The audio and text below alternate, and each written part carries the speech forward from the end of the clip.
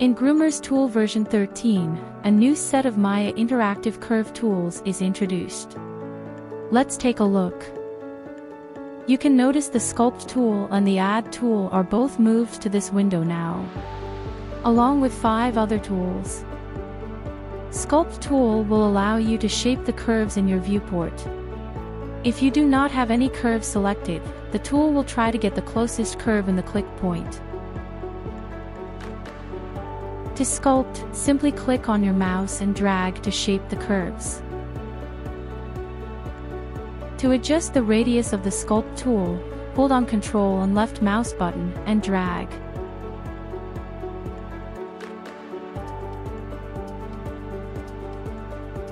You can also have a few more curves selected for sculpting.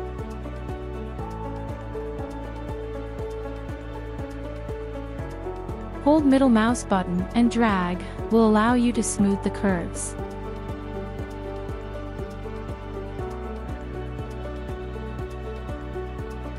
You have the option to lock or unlock the root of your curves.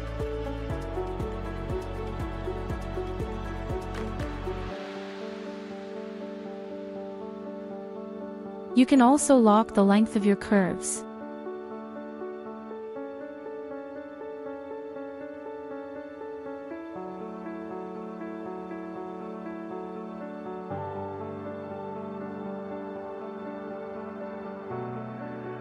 The Normalize button allow you to evenly spread out the CVs after sculpting. The Sculpt tool pushes the CVs.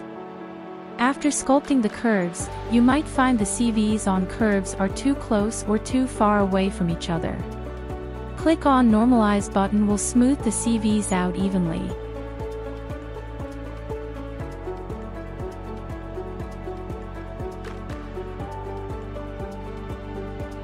When you use middle mouse button to smooth out curves, a smooth factor is applied. You can set the smooth strength to control the amount of smoothing on curves.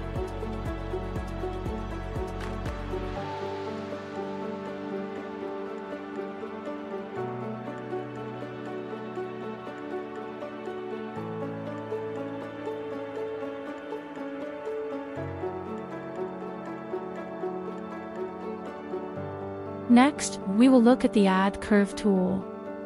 This tool allows you to add a curve in between surrounding curves based on your click point on a mesh. You will need a mesh, and a few curves on the region to be able to add a curve. The search distance is an important setting here. Think of it as a radius from the click point. Setting the search distance lower will take in less curves from the click points. It will be faster to process. Setting the search distance higher will allow the tool to take in more curves as reference to generate a curve. However, if there are too many curves, adding a curve can be slower. New Curve CV settings allows you to set the CV count when you use middle mouse click.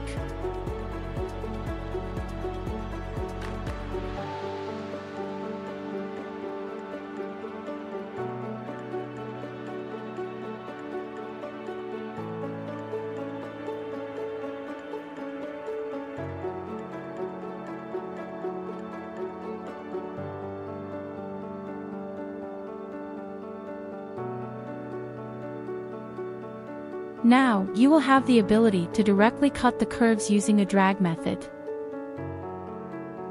Hold on left mouse button and drag to see the yellow points, this is the area that it will cut the curves. You can also cut multiple curves at same time.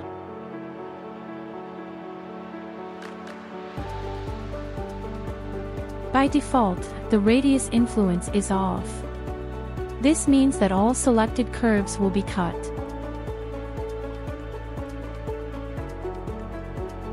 Turn radius influence on will allow the cut tool to only have an effect on curves within the radius of the tool.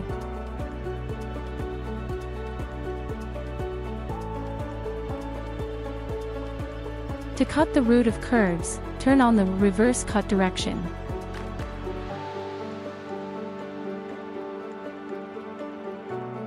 The slide sensitivity allows you to control how fast the yellow dots move when you drag the mouse. If you set it to 1, it will be very sensitive, and the yellow dot goes to the root almost right away. Setting it to a lower value allows you to have finer control of the cut regions along the curves.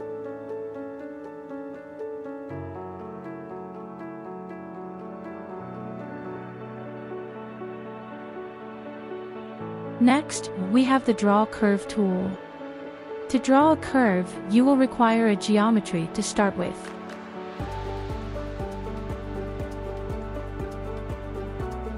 If you try to draw without a mesh, it will not create anything.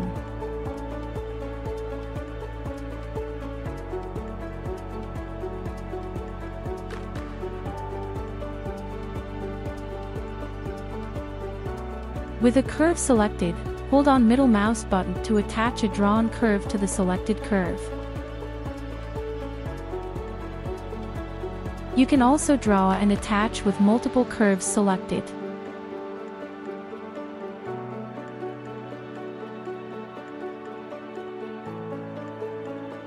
By default, Rebuild when drawn is turned on.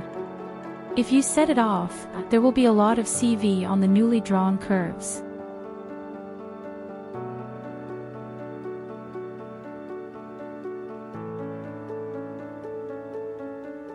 If Rebuild when drawn is on, the tool will take the value from the Rebuild CV count slider and apply it to the new curve.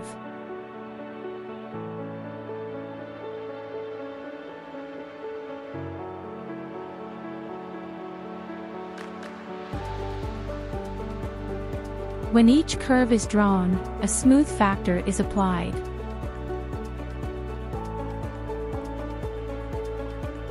If you set it to zero and turn off the rebuild when drawn, there will be no smooth effect.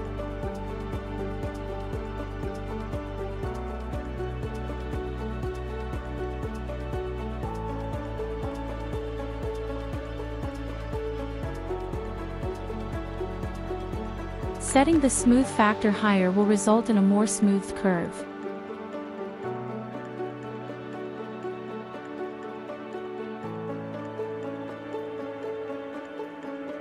Next, we have a new drag and attach curve tool. To demonstrate this better, I am drawing an extension for an existing curve. Let's say I want to continue the waves down the same curve.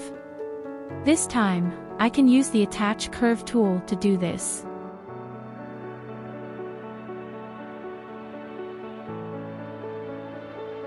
The Attach Curve tool takes a portion of existing curve, cut it, and attach it to the tip of the curve. You can also use the Attach tool on multiple curves selected.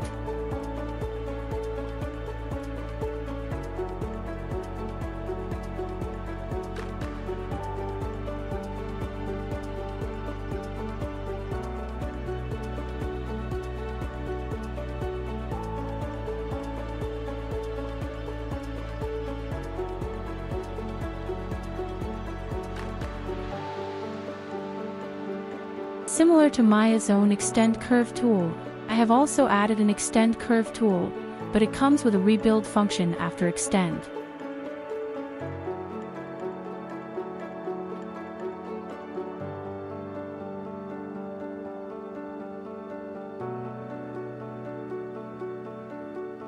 If the rebuild CVs are turned off, you will end up having a lot of CV at the tip of the curves.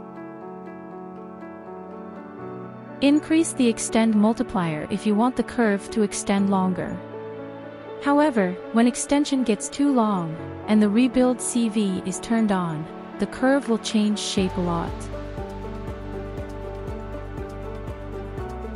Turn the rebuild CV off, if you wish to maintain the shape of the curves.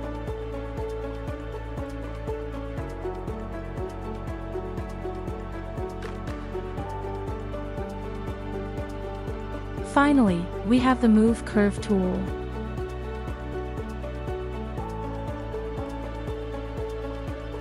You can use this tool to move the curves, and the curves will stick to the underlying geometry.